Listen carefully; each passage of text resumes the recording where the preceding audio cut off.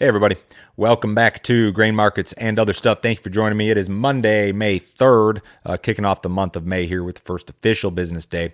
If you guys are listening on the podcast, as always, really appreciate it. Make sure you leave me a review, leave me some feedback. If you're watching on YouTube, make sure you hit the subscribe button. Uh, make sure you like the videos. Help me out to get this channel to grow. I think I've got 1,800 subscribers on YouTube. I'd really love to get that up to about 2,000 sometime soon. So uh, do me a favor, hit that subscribe button if you like this content. Um, I may have, for those, if you guys are listening on the podcast, I might have some new intro music soon. I made a record uh, with a couple of my friends here in Nashville um, a few weeks ago, and we're waiting on the masters to come back. But uh, it sounds pretty good, in my opinion, at least. So I'm, i may I may change up the music a little bit. Uh, I'll see if if you guys like that or don't like it either way. But um, uh, so that may be coming up. I wanted to do kind of just a conversation with myself today. And um, keep in mind before I start any of this, guys, I am not a financial advisor. I'm not advising that you do anything. I'm going to talk about my own personal situation. I'm going to talk about uh, some conversations that I've had with people that are more intelligent than myself and um, just kind of give you my two cents here on um, the situation when it comes to investing, uh, retirement, um, looking toward the future, that sort of stuff. So we're in a situation right now where everything is really expensive, right? Stock market's at all time highs. Real estate is at all time highs. Um, alternative investments, cryptocurrency is at all time highs. Um, you buy bonds, there's still no yield there. It's it's like really difficult to figure out what to buy. And um, you know, I have said in previous podcasts that I I'm a firm believer in you know the United States stock market. I still think the S and P is a great place to put money. Um, I did an entire episode on on how I invest in the S and P 500 for retirement, and and I handle all my own retirement stuff. I've been doing it for more than a decade now.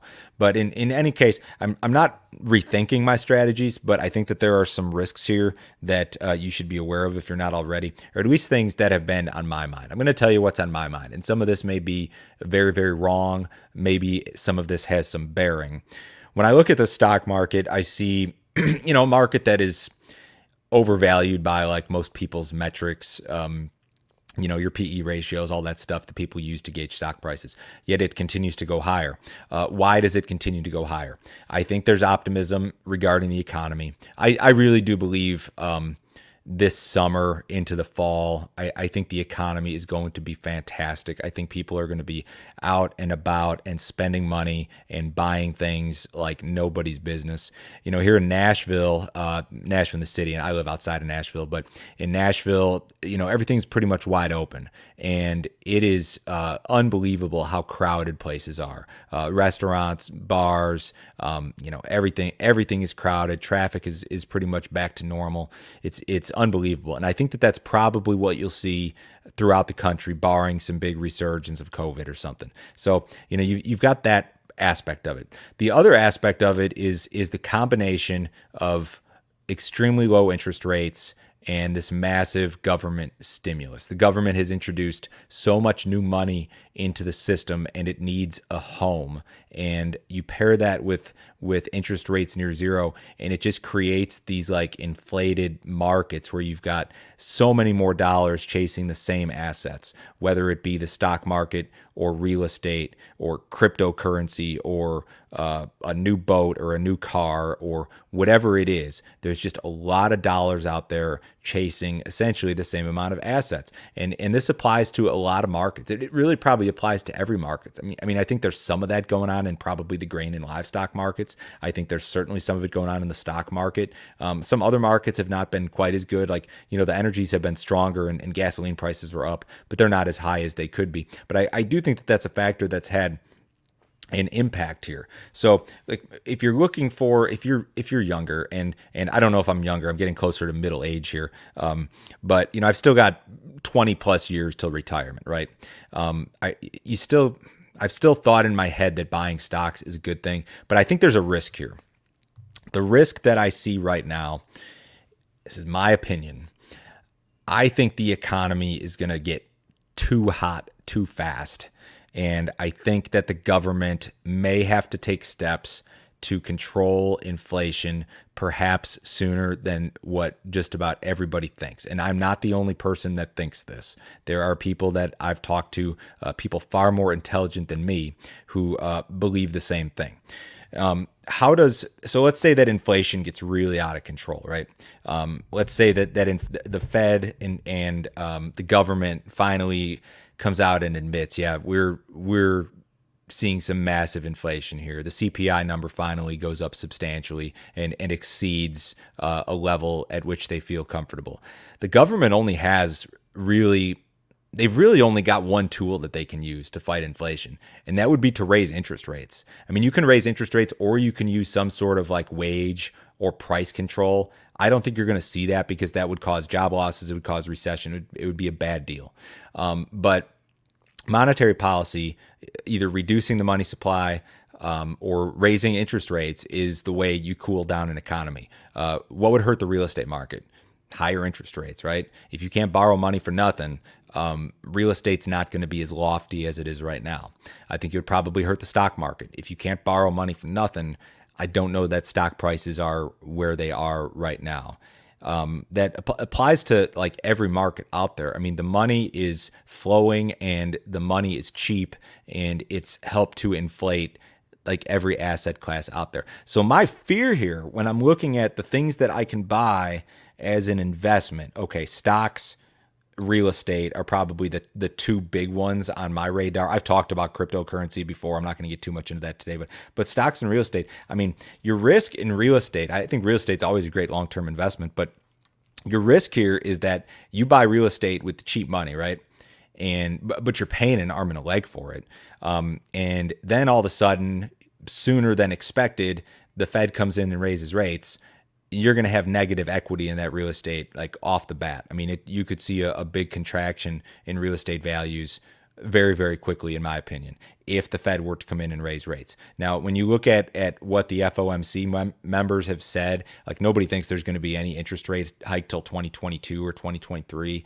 I mean, I think you could make the argument at least that there's there is risk of a rate hike. Um, prior to that. And that's what really scares me when it comes to like every investment.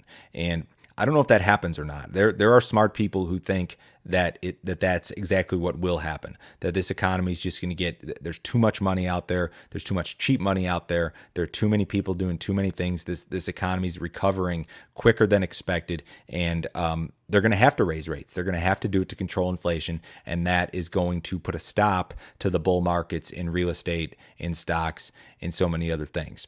So, I have I'm kind of I'm kind of at a crossroads here. Like, okay, do I stick with my game plan of buying stocks or index funds or whatever it is, you know, on a monthly basis? Do I do I stick with that even though I know that there's risk?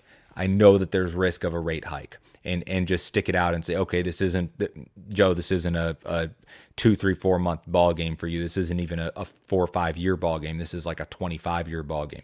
Do I just stick with that idea? I think that's probably what I'm leaning toward. But part of me in the back of my head says, you know, there there may be an opportunity to um, to to make some really good investments if there is that interest rate hike, which seems like it's inevitable. I mean, it's is is it two three years out? Is it only a year out? Could it be this year if things really get out of control? Those are the questions that I kind of ask myself. So. I would love to buy more stock. I'd love to buy some real estate. Um, I just and, and I've bought stock at all time highs many occasions. I mean, probably more months than not, you're buying close to all time highs here these last 10 years, which is has never really bothered me a whole lot. But for some reason, like I'm having this, uh, it's not a, I'm not, I'm not second guessing myself necessarily, but I'm, I'm worried that any sort of change to this monetary or fiscal policy could be a big, big deal. I would like you guys to weigh in. If you have any comments on this, if you think I'm crazy, let me know. If you think that the government will never raise interest rates, let me know. If you are a uh, person who believes that all you should own is gold and cryptocurrency and guns, uh, let me know. If you are somebody who thinks that I'm way overthinking this and that you need to just kind of ride the wave here, uh, let me know. I'm kind of, I'm honestly just kind of interested what people think because I've, I've, I've posed this question to like everyone I've talked to who's involved in in finance and investing, and it doesn't seem like anybody has a really great answer for it. Like, where do you put cash right now? What do you do with money? I know Warren Buffett and and Berkshire, they're sitting on like hoards of cash, and because of that, they've underperformed the S and P. They've underperformed a lot of things here recently, and and maybe they're waiting for a, a rate hike and a big correction to get back in. I just I don't know. I think this is really difficult. I think that the position that the government's put us in with these policies makes things very very difficult. So if you think you've got a great place to put cash, I would love I would love to know what you think because I don't have an answer. This this isn't me telling you uh, what I what I think or where you should where I think you should be investing. I'm kind of like more asking you like what do you what do you think? Um, you go on YouTube. There's all sorts of people talking about different things that they think that you should do. Uh, one of the more popular opinions is to not hold cash. Um, don't hold any cash because you know you should go buy something that's going to appreciate because cash is depreciating. That's one opinion that that's out there. Is that the right opinion? Um, nobody can predict these markets, but I I find this to be a very uh, difficult and unique situation, at least in in the in the context of, of my career in investing. I, would say that this is this is a, a tricky situation, guys. It really is. Um, again, leave me some comments, leave me some feedback, shoot me an email to info at standardgrain.com. I'd love to hear what you think.